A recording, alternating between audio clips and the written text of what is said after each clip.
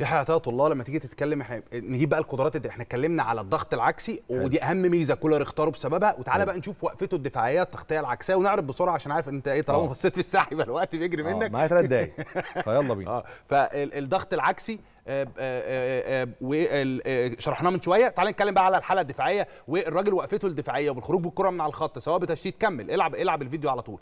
آه، آه، سواء بالخروج بالكرة سواء آه، هو بيعمل العملية هو هو اللي داخل ضاغط inside ده وهو اللي بيقدر يشتغل جوه دايما يا كريم سواء في الضغط العكسي سواء الهجمة من ناحيته والجناح نازل تحتيه ودي دايما بيعملها مارسيل كولر بيرجع بخمسة ورا أو إن هو بيبقى محتاج إن اللاعب الظهير بتاعه بيجيد الأدوار الدفاعية جوه ال 18 فهو راجل مش طويل قوي 178 سم لكن راجل ال- ال take off بتاعه ممتاز. راجل التحاماته سواء الهوائية أو الأرضية الهوائية أقل طبعا لكن الأرضية التحامات قوية جدا. الراجل دي بقى القدرات الهجومية بتاعة الراجل إنه هتلاقيه دي لسه إحنا في في الملف بتاع القدرات الدفاعية. الراجل حتى النقطة اللي كان بيتكلم عليها باز من شوية قدرته على الخروج بالكورة وهو موجود على الخط لأن دايما الخط إحنا بنطلق عليه هو منافس زيادة. الخط دايما بالنسبة لك منافس زيادة. فقدرتك على الخروج بالكورة التحامات قوي جدا في الالتحامات دون ارتكاب أخطاء. فالراجل شرس جدا. يا كريم في أي حتة من الملعب. فالراجل على صعيد القدرات الدفاعية هو نموذج.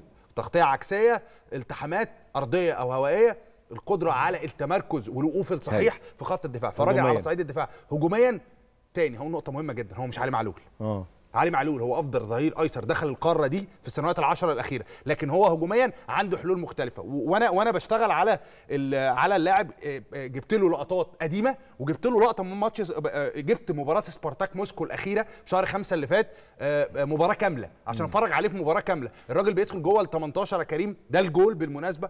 سبارتاك موسكو واحد من الفرق الكبيرة جدا في روسيا سوتشي واحد من الفرق الصغيرة كسبوا المباراة دي 1-0 والراجل مكمل لحد فين يا كريم؟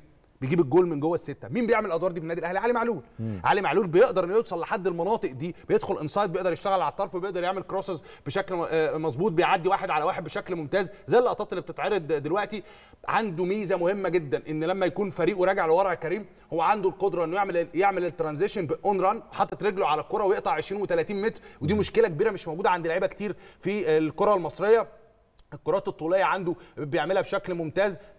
رجليه على المرمى مظبوطة جدا. ده هدف سجله بعد خروج الحارس. فبتتكلم على إن الراجل سواء تصويبات من خارج ال 18 فالراجل هو راجل متنوع جدا هجوميا. هو مش بروفايل علي معلول ابدا لكنه متنوع جدا هجوميا. ضربات ثابتة تصويبات هاي. كروسات بنتريشن داخل ال 18 بتتكلم على راجل عنده حلول كتير. هيدي هاي. حلول كتير قوي. لمارسيل كولر.